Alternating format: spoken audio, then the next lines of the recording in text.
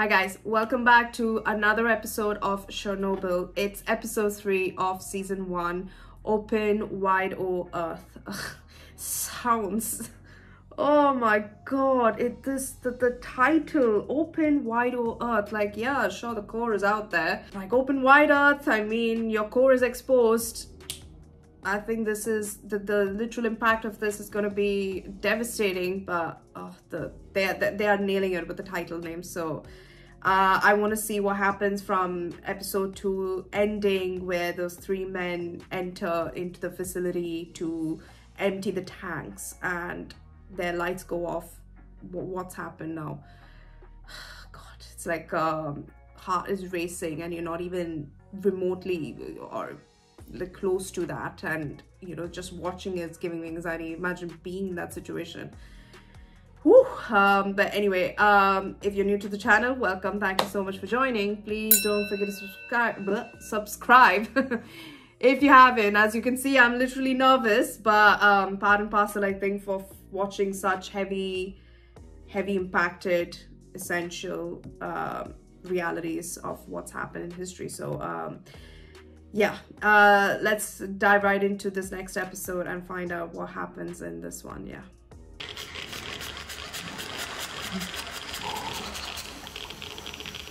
Like for the radiation impact to be that high and to affect like torchlights.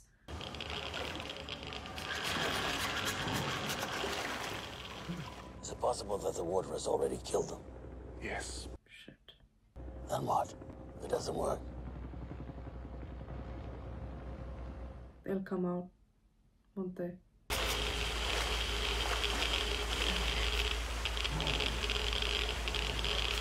Okay, that's valve one.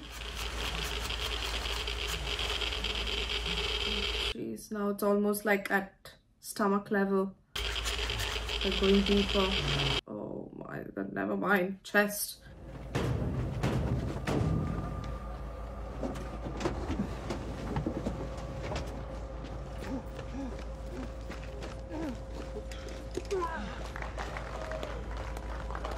Don't you want to clean them first? Okay, that's that's very good, but don't they have to like be washed down? Uh, I'm here to see my husband, Vasily Ignatenko. He's a firefighter from Chernobyl. I have permission. Chernobyl? I'm sorry, no visitors. But Major Major Burov told me. He said... No exceptions. Please, I've come all the way from Kievsky Oblast.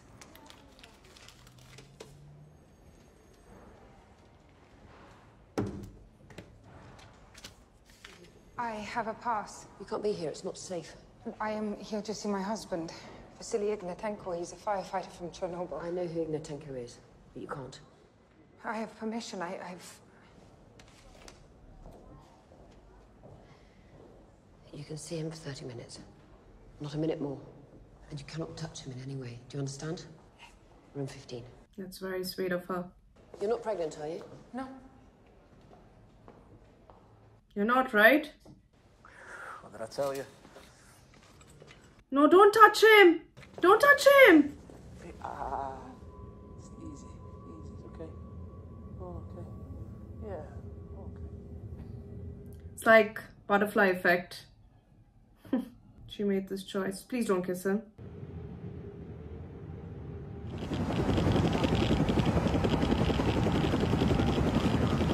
Your skin is exposed, my friend. Someone decided that the evacuation zone should be 30 kilometers when we know here, cesium 137 in the Gomel district, that's 200 kilometers away. It was decided. Based on what? I don't know. Is this really the way it all works? An uninformed, arbitrary decision that will cost who knows how many lives made by some apparatchik, some career party man? Thank you. I'm a career party man. Well, not anymore if you... Watch your tone, Comrade Legasov. Listen, the ego of men. Jeez, flippin' Louise. There's also been a reduction in iodine 131 and cesium 137 emissions. Good. Yes? But the temperature is rising, Yes, as predicted. and uh, What? There's a spike in zirconium 95. fuck is that now? It's from the cladding on the fuel rods. Meaning what? The meltdown has begun. Great. So now we are on that time. The time has started 48 to 72 hours.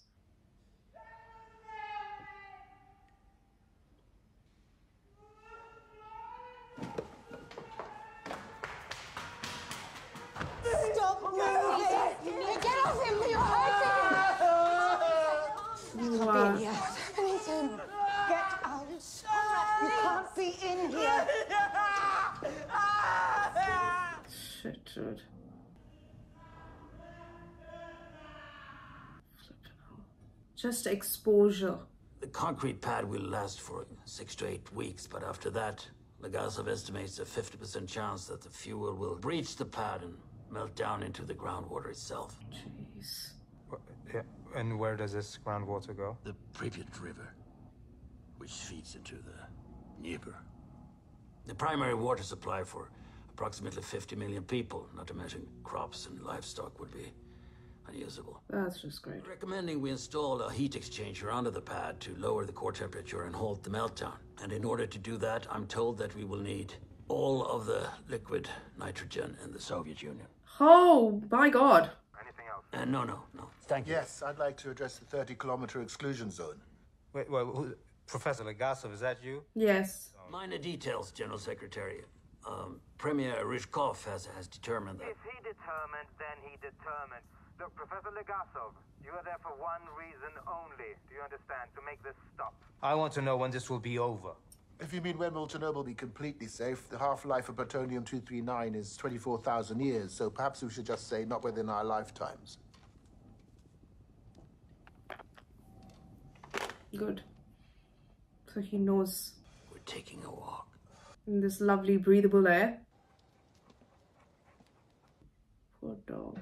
What will happen to our boys? Which boys? The divers. The Divers, the firefighters, the men in the control room? Oh, the level some of them were exposed. Ionizing radiation tears the cellular structure apart.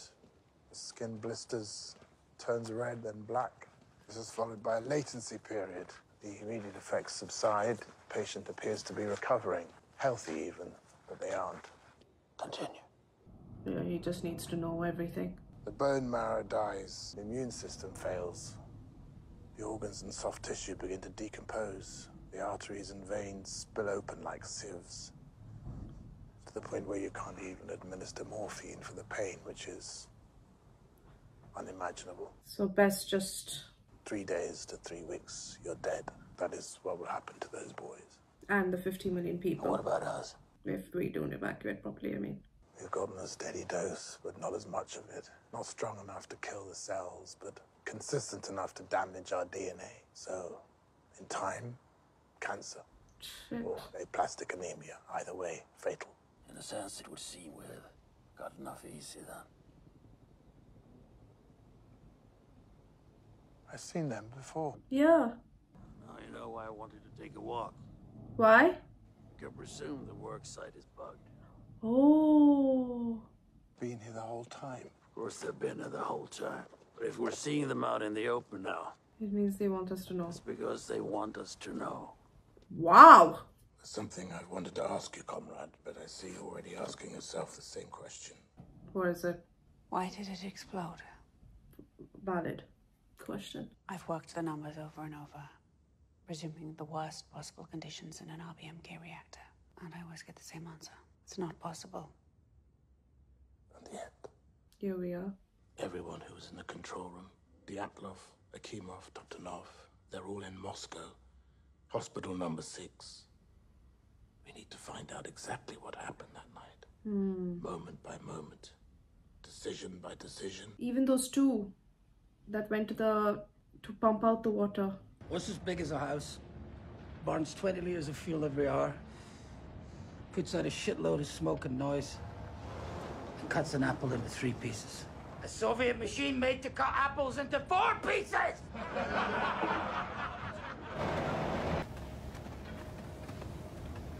I need all 100 men to gather their equipment and get on the trucks. Yeah, yeah. To where? That's classified. Basically, they're forcing you with all that. Come on, then. Start shooting. You haven't got enough bullets for all of us. Kill as many as you can. Whoever's left, they'll beat the living piss out of each of you. You can't talk to us like that. Shut the fuck up. We don't leave unless we know why. Respect.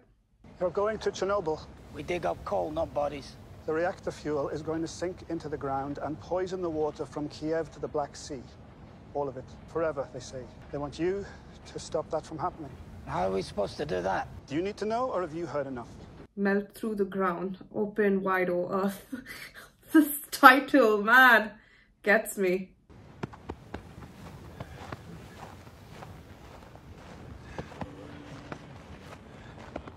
Mm-hmm. That's how many men you're asking? Now you look like the Minister of Coal. Mm.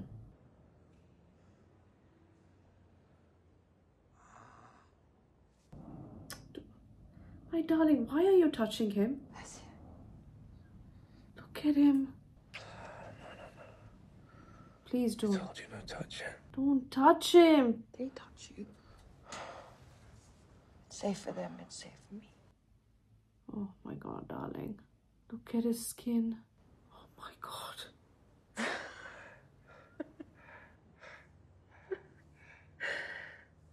Tell me what you see outside. I can see the Red Square, the Kremlin, Spasskaya Tower, Mausoleum. You see St. Basil's? Jeez, my dude. Ah, Poor lady as well. I told you I'd show you Moscow, didn't I? Oh, dear. Who is this? I'm not a nurse, Comrade Dyatlov. I'm a nuclear physicist.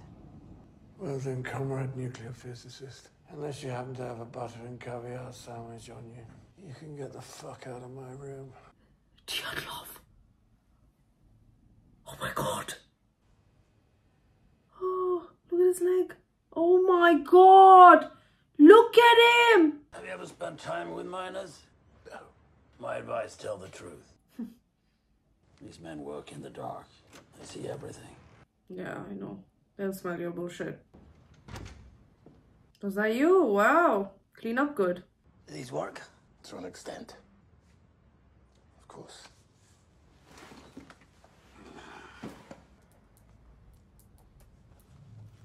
I'll keep it back, thanks. So what's the job? We need to install a liquid nitrogen heat exchanger underneath this concrete pad. There's no way to approach from the interior of the building, so you have to get at it from underground. And what's above the pad?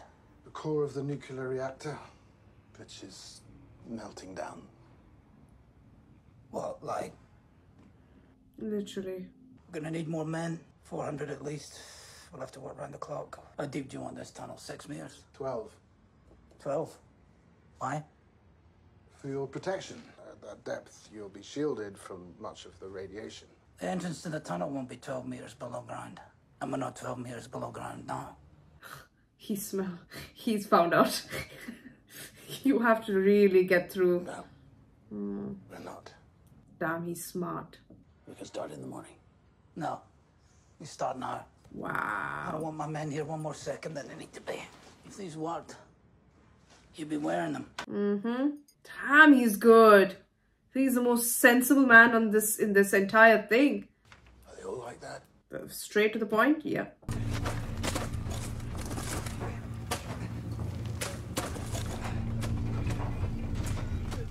There's no way. Just looking at the density of the air. Oh my god. We need fans. For what purpose? What purpose? What do you mean for what purpose? They dig your fucking tunnel, that's why.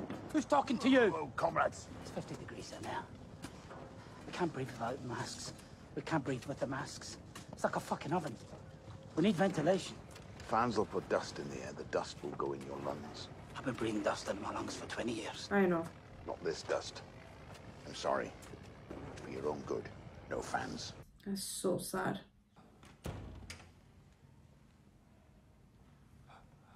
Oh my god, it's him, Le- Leonov, Leonard, Leonid. My name is Ulana Khomyuk. I'm a nuclear physicist with the Chernobyl Commission. I want you to tell me everything that happened on the night of the accident. Is that all right? Yes, I want to tell Thank God. Oh my God. My name is Leonid Fedorovich Toptunov. And I am the senior reactor control chief engineer at Chernobyl nuclear power plant. Oh, Guy. Senior engineer. How old are you? I'm 25.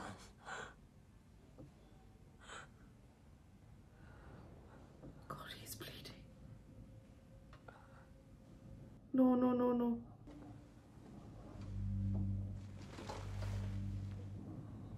Oh my god, why, why, why?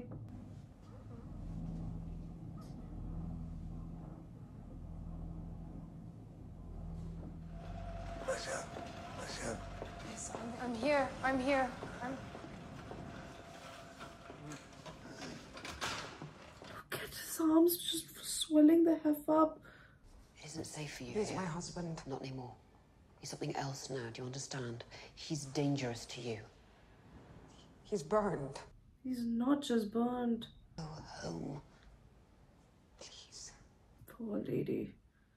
God, I can't even imagine. I don't want him to die alone. Stay on the other side of the plastic, or I'll have you removed by security. She's very kind, this nurse.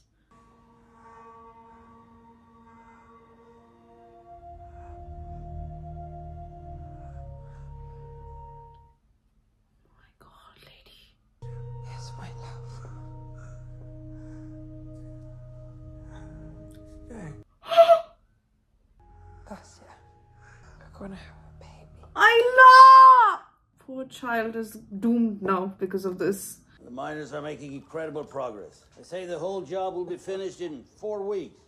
What's what's up his mind? Four weeks? Can't believe that. What is it?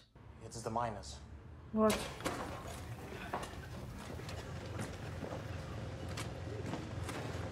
Oh my god. They're literally going in naked. What? They wouldn't give us fans. It's too hot for clothes. So we're digging the old way. This is where our fathers mined. Was it? You're not as protected. No.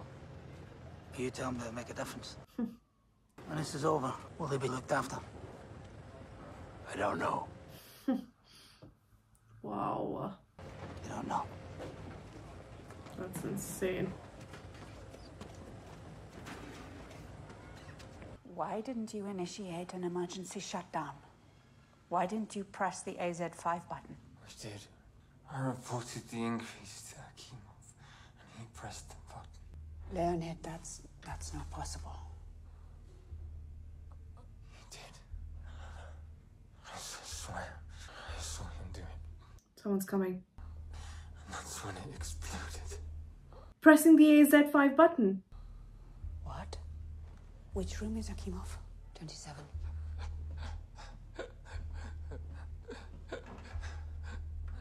I pressed it before the explosion.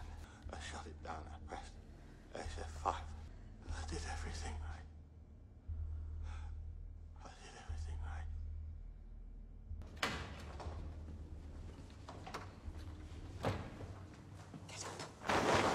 Get out. Get out of here. Let me go. Let me go.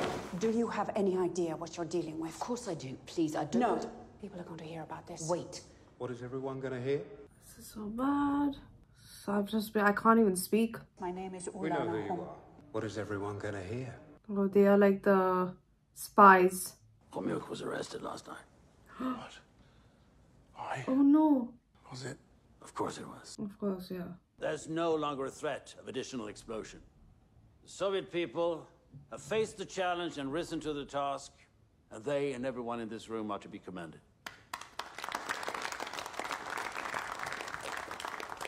Deputy Chairman Shcherbina has given you the good news, and it is I need a biscuit after all that. now, I'm afraid, a long war must begin. Good grief. There is an enormous amount of radioactive debris and contamination spread out across a zone of approximately 2,600 square kilometers. This entire region must be completely evacuated. We must go to every town, every village to ensure this. All animals still surviving within the zone, whether domesticated or wild, must be presumed contaminated and will have to be destroyed to prevent the spread of radiation and disease. We will need to construct a containment structure around the power plant itself, which will, of course, still be extremely. There will be deaths. Yeah, essentially. What amount of time? And how many men do you require? We expect this liquidation effort to take three years and approximately 750,000 men. Flipping hell! Three years, 750,000 men. Just in. Begin at once. Oh, look at that. Just now we were talking about three deaths and now tens of thousands of deaths. My associate was was arrested last night. Oh?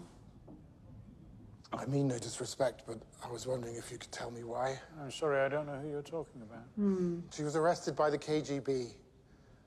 You are the first deputy chairman of the KGB. I am. That's why I don't have to bother with arresting people anymore. But you are bothering with having us followed. You really don't trust us. Of course I do. But you know the old Russian proverb trust but verify. And the Americans think that Ronald Reagan thought that up. Hmm. Can you imagine? Mm-hmm. I need her. Then it's done. Her name? I know who she is. Good day, Professor. That went surprisingly well. Great. Came off like a naive idiot. Naive idiots are not a threat. I really wanted to laugh at that joke, but I think the circumstance is not the best. I just laughed. Do you think the fuel will actually melt through the concrete pad? I don't know. 40% chance, maybe. I said 50. Either way, the numbers mean the same thing, maybe. Mm. The problem has been assigned, and you'll stop at nothing until you find an answer. Because that is who you are. A lunatic, then. A scientist. Did you know that they were running a safety test? There's something else. They shut the reactor down, and Toptunov confirms it. They pressed AZ-5. Apparently not soon enough. No, they pressed it before. They say Akimov pressed AZ-5, and then the reactor exploded. If it had been just one of them, I would have put it down to faulty memory or delusion even, but Both. they both agreed they were adamant. What does that mean? Do you think it's possible? I think it makes no sense. I, I think it's what I would say if I was trying to cover my own mistakes. What about? What's there to lose? They're almost dead. I believe them. We have to pursue every possibility. I'll go back to the hospital and re-interview Akimov and Toptunov. What if they're dead by then? They're not. They died? This is the this is for the uh, lining, right? Like to create the barrier.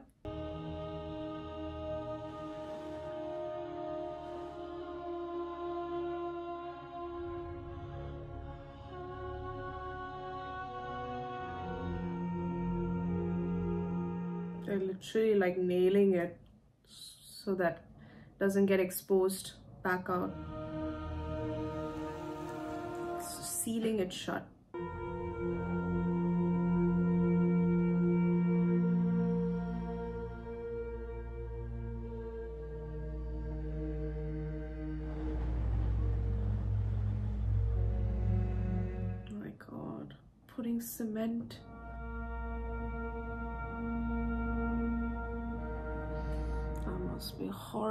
To watch.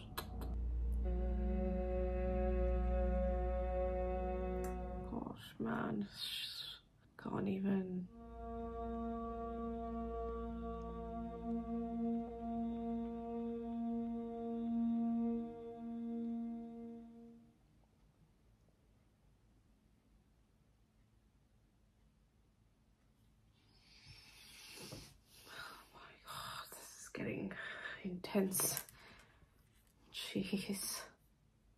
I think I think I'm done for the day.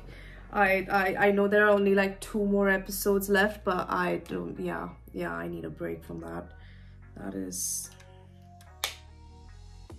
it is hard to that just that last scene made it worse and the effect like they looked fine at the start of the episode and of course she's pregnant of course and the, the the fact of the matter is when they said that it, you it looks like you will be fine like but in two three days it gets worse. Like like your literally that's their their immune system shutting down. Their own organs are decomposing from inside and they are it's a pain unimaginable because even morphine won't do it because it's literally inside their body. It's happening. You can't stop it. Oh my like what? That that entire look like the the way they turned it, it's jeez. Um unimaginable but yeah i think i'm done for today. It's it's crazy. But i want to know more about the fact that um they pressed the az5 button and then that's what caused the reactor to explode. If i if anything they said that the az5 will why didn't you press it sooner to stop from anything happening? But then that's what caused it and now that those two engineers are dead um they can't i don't know how uh, she's gonna you know uh, pursue like pursue this this story this lead. Jeez. Yeah anyway. Um thank you so much guys for joining. Um three eye-opening uh three eye-opening like episodes. Can't imagine what the last two will be like but um i'll see you guys in the next one. Until then if you're new to the channel thank you so much for joining. Please don't forget to subscribe if you haven't and let me know down in the comments what i should watch next. I'll see you in episode four. Uh need a tad bit break from that but um i'll see you in the next one. Bye guys